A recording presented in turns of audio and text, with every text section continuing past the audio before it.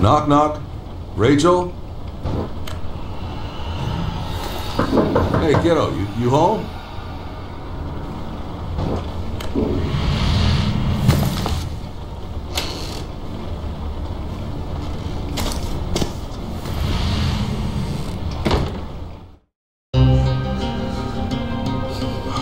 Yes, I know. I'm at her apartment right now. Of course. Well, no, there's no sign of him here. Look, I just got here. I'm still looking. Wait, I heard something. Or someone.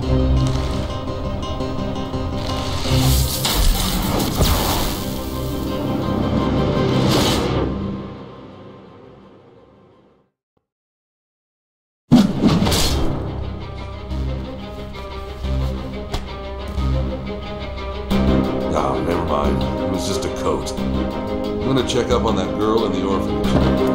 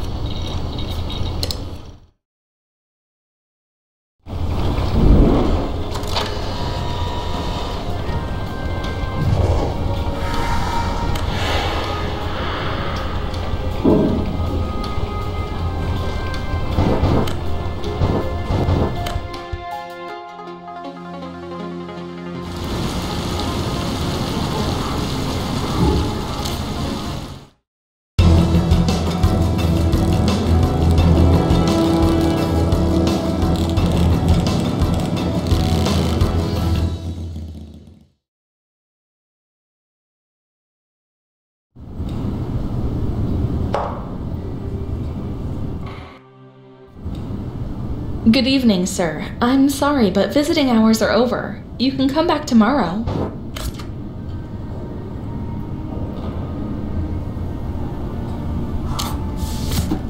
Is Rachel in some kind of trouble? Tell me what happened.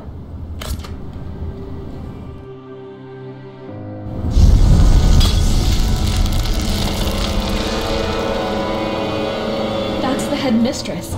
She has very strict rules, and one of them is that you are not allowed here. I'll help you, but first come with me and make sure no one sees you, or we're in big trouble. This way.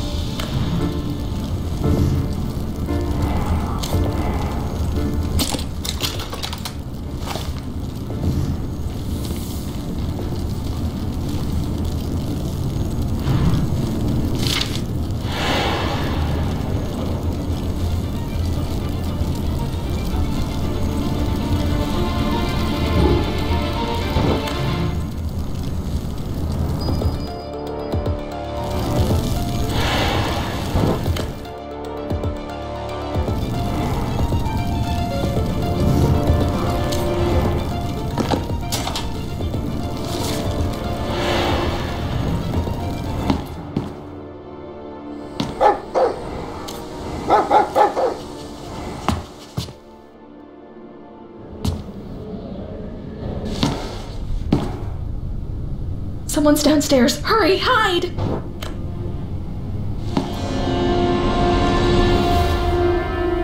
Ma'am, they said you weren't accepting any visitors, but this is important.